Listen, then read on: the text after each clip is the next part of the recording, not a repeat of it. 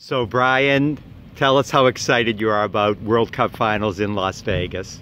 I couldn't be more excited for World Cup finals. It's been a, a huge dream of mine for many years. Uh, I went and watched the last time it was in Vegas, I believe, about five or six years ago. So to be able to go and do it the first year I'm eligible to is super exciting.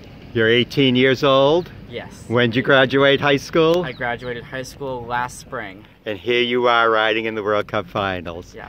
So, you know, I'm just going to say first FEI class you ever rode in, you won.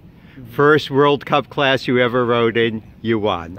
I mean, we don't know what'll happen, but I'm just kind of saying. Who knows? That would be amazing, but I just hope to put in a great trip for myself and for my horse and make it an overall great experience. Well, you're a great rider, a great person. We wish you the best. Thank you.